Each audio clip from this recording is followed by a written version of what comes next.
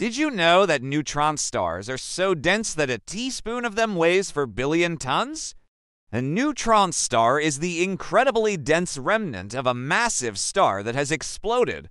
It's like a collapsed star, and because it's so dense, a tiny piece of it could destroy an entire planet. If you were to spread it out over the surface of the Earth, it would weigh four billion tons.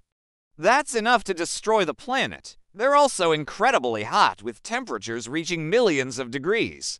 Let's say you have a teaspoon of this material.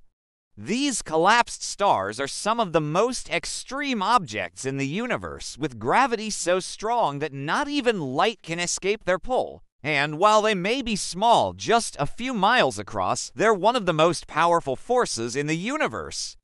So, next time you're looking up at the night sky, remember that there could be a neutron star out there that has more mass than our entire planet.